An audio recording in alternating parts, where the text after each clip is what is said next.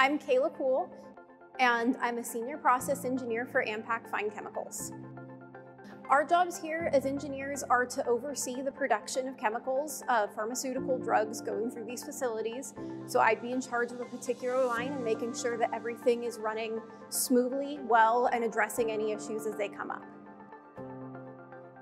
I've always really loved both math and science, science especially. Both of my parents are engineers though, so maybe I have a predisposition for it. I've always wanted to be an engineer. Um, engineers, I feel like, are the people who are solving the real world problems. And chemical engineering, especially, I mean, people may not think about it, but that's impacting every aspect of people's lives from food to fuel, or in our case, pharmaceuticals. And it's really nice to be able to think that what I do here is helping people out. Good enough is never good enough here.